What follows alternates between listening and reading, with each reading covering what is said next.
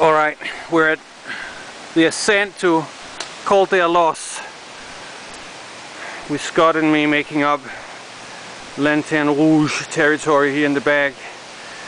The young Dutchman having flown off. Oops, I got a car.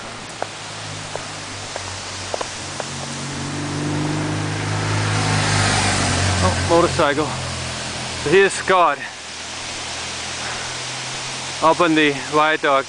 Holy crap! Just to give you a sense of scale here.